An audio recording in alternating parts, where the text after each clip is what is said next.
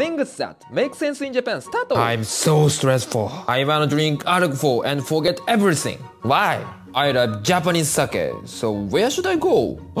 Here it's Sai near Sangenjaya. Do you, do you know Sangenjaya? Station name, yeah? Okay, everyone, here is Japanese sake specialty restaurant. So, so, here, like this. Many, many kinds of Japanese sake. Maybe 60 kinds? Another heaven, yeah? Oh, welcome to my table. Yeah, one drink, 3.8 US dollar. Yeah, very cheap, yeah? I choose this sake, but I don't know well, sorry. Food is also good. This is rice porridge. This is smoked pickles. Do you know, do you know? Yeah. This is potato salad. Yeah, do you know, do you know potato salad? This is, uh, I forgot. Uh, uh, Ah, ah, ah, duck meat, duck meat, yeah. Oh, oh, this is oden. Perfect treasure in the world. This is cucumber seaweed with vinegar. Very, very good. Oh, another treasure here. Yeah, world heritage this, yeah?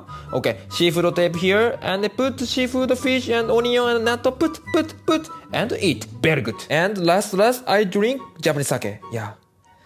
Taste is very, very good. My brain go to another world. Bye bye.